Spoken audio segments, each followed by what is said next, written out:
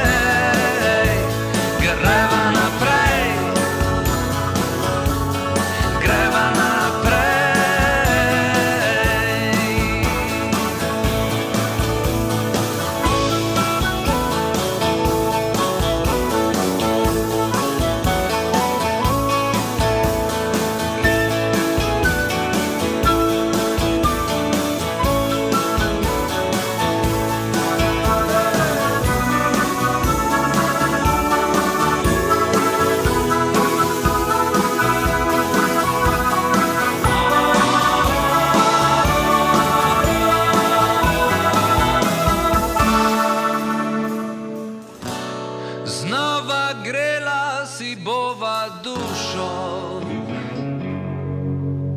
prebrodila bova tudi najhujšo sušo.